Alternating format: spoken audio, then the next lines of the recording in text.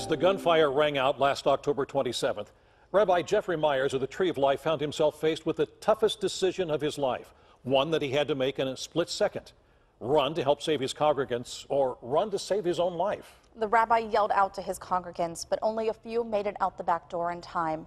Then Myers barricaded himself in a bathroom. It's a choice, he says, that will haunt him for the rest of his life. Here's Meghan Schiller.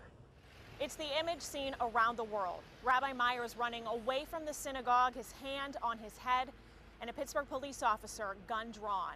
I had the chance to talk to Rabbi Myers his first time back to the synagogue, and now, one year later, he reflects on what has changed.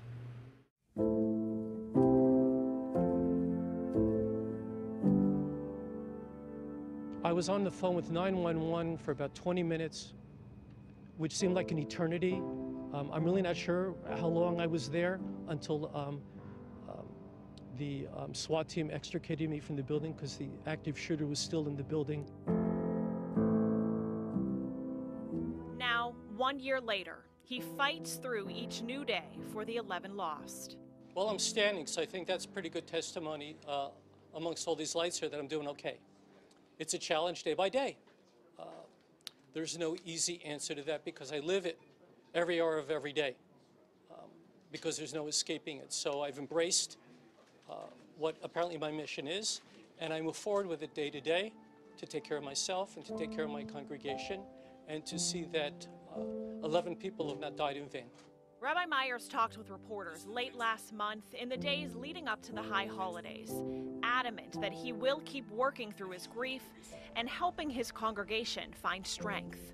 Each of us finds the strength and the courage to integrate what happened into our beings, to move forward. Um, I refuse to let the perpetrator make me another full time victim. I won't let it happen. I refuse. 11 or 11 too many. Uh, there will not be a 12th, as far as I'm concerned. His struggle with survivor's guilt continues to evolve.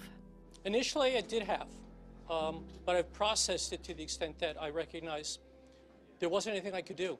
Um, even with the training I took um, with Brad Orsini through Federation, there's a limit to what uh, any human being's capable of. And um, I've come to recognize I did the best I could. Um, had I perhaps attempted more, um, I probably wouldn't be standing here.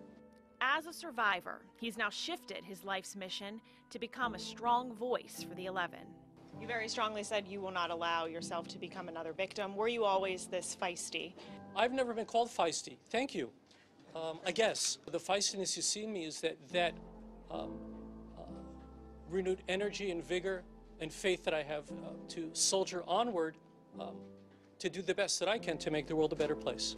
Making him the very definition of the word feisty lively, determined, and courageous. In Squirrel Hill, I'm Meghan Schiller, KDKA News. From the first call to 911 to the suspect's surrender. Up next, tracing the timeline when Remember, Repair Together continues.